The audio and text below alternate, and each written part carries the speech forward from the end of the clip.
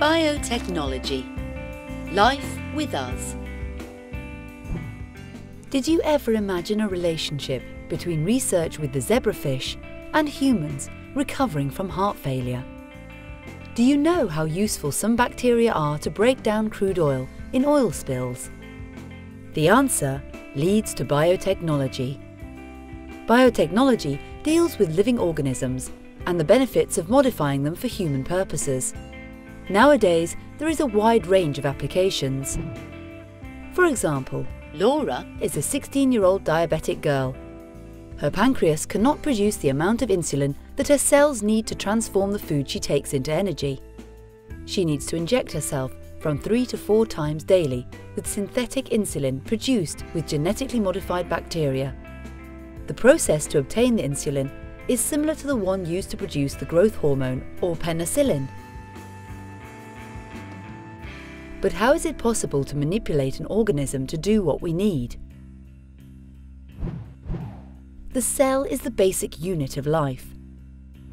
Researchers are still analysing what cells do and how, and biotechnologists use this information to manipulate organisms and to develop new products. But biotechnology is not new. It was already used thousands of years ago humans learnt that metabolic abilities of small bacteria and fungi could be useful for food production. Wine, beer, yogurts, cheese, or yeast rising bread you may consume regularly are the result of biotechnologies that require the use of microorganisms. The possibility of modifying microorganisms to produce new drugs started in 1953 when James Watson and Francis Crick described the structure of the DNA molecule, the Book of Life. Since then, and thanks to the work of many researchers, it has become possible to modify the genetics of organisms in order to obtain new ones with new functions.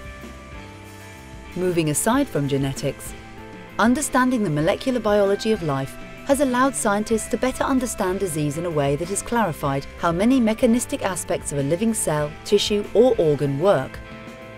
These findings have allowed us to interfere with the process. For example, scientists can use biological tools such as antibodies. These are very specific proteins naturally used to fight infections that can act almost as magic bullets by recognizing the target only. Antibodies have been routinely produced in the lab since 1976 and are now a therapeutic reality to fight chronic leukemia and other diseases, such as rheumatoid arthritis. And we can go further.